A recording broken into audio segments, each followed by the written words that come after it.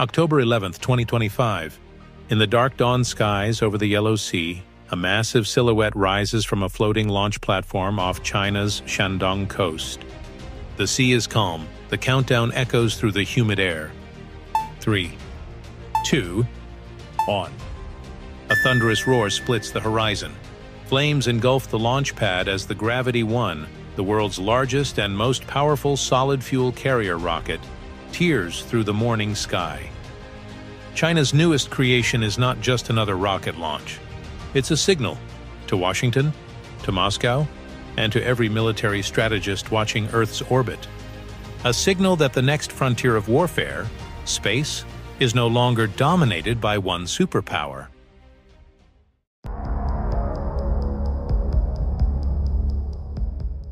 At precisely 9.30 a.m. local time, Orienspace, a Chinese aerospace company, successfully launched the world's largest and most powerful rocket, Gravity 1, from a sea-based platform off Haiyang, Shandong province. This wasn't just any mission. On board were three satellites, one advanced optical remote sensing satellite, and two experimental payloads designed for orbital testing. The 30-meter-tall rocket weighing a colossal 405 metric tons fired its solid fuel engines, generating a staggering 600 tons of thrust. Within minutes, it breached the stratosphere, placing its payloads into precise orbit, one into low Earth orbit and two into sun-synchronous orbit around 500 kilometers above the Earth's surface. China's space agency confirmed complete mission success. And for Orienspace, led by chief designer Xu Guoguang, this was more than a triumph. It was proof proof that Gravity 1 wasn't just capable, it was reliable, repeatable, and ready for operational deployment. This launch followed a prior test in January 2024, but this time the results were definitive. The rocket's performance exceeded expectations, confirming China's readiness to mass-produce one of the most advanced solid-fuel launch systems on the planet.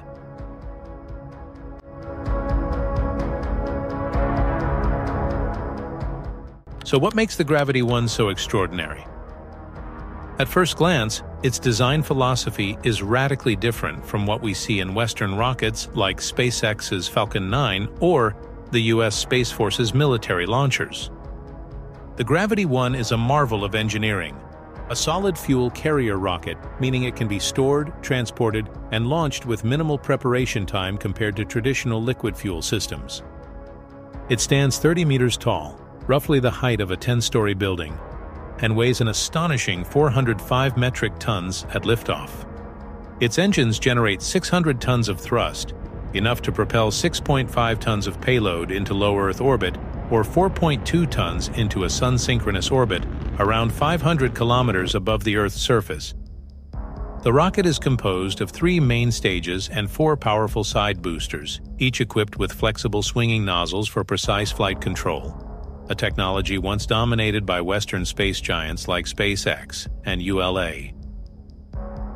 But what truly sets Gravity 1 apart is its solid fuel core, designed for rapid deployment, simplified logistics, and survivability in wartime scenarios. Unlike liquid fuel rockets, which require complex fueling operations and can be vulnerable during pre-launch phases, a solid fuel system can be launched in minutes, in terms of efficiency and raw launch capability for a solid fuel rocket, Gravity 1 now holds the global record.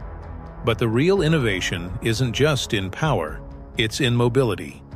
The Gravity 1 was launched not from a fixed land base, but from a floating sea platform, a mobile launch site capable of repositioning across maritime zones. Why does that matter? Because sea-based launches are mobile, unpredictable, and tactically concealed a capability no other nation has operationalized at this scale using such massive rockets. It gives China an unparalleled strategic flexibility. Traditional launch sites, like Cape Canaveral or Baikonur, are static and geographically limited. But with sea-based operations, China can choose optimal launch angles, minimize risk to populated areas, and most importantly, conceal its launch preparations from satellite observation.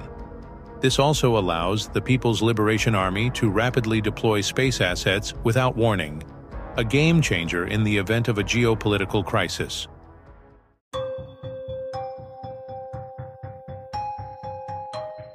Orienspace may not yet be a household name, but in the aerospace world, it's emerging as a Chinese powerhouse. Founded just a few years ago, it represents Beijing's new strategy, combining state military industrial support with private innovation. Think of it as China's equivalent of SpaceX, but with a distinctly national security-oriented mission. While Western firms like SpaceX and ULA focus on commercial and civil contracts, Orienspace operates under the broader guidance of China's Strategic Support Force, which oversees space and cyber warfare operations.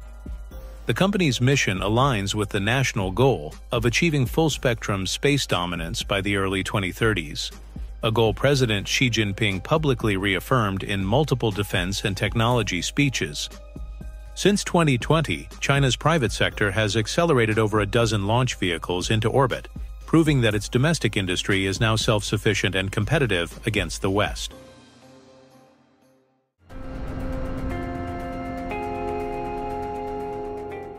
This launch didn't happen in a vacuum. It comes at a time when space warfare is no longer science fiction, it's reality. The United States Space Force is currently developing the world's first space-based anti-missile shield, while the Pentagon's satellite constellations, such as Starlink military derivatives, have been key in guiding Ukraine's war effort against Russia. For Beijing, this launch was a direct response, a demonstration that China is not only catching up but surpassing. Unlike the SpaceX's Falcon 9, the workhorse of the U.S. space industry, which is liquid-fueled, reusable, and optimized for commercial cost efficiency. Gravity One's solid fuel nature means faster reaction time, lower maintenance, and reduced vulnerability to cyber or physical attacks on fueling infrastructure. And here's the key. It's cheaper. The ability to deploy satellites at a lower cost dramatically alters the economics of space militarization. In an age where each kilogram of payload can cost tens of thousands of dollars, a cost-effective heavy launcher gives China the power to flood orbit with reconnaissance, communication, and even anti-satellite systems faster than any rival.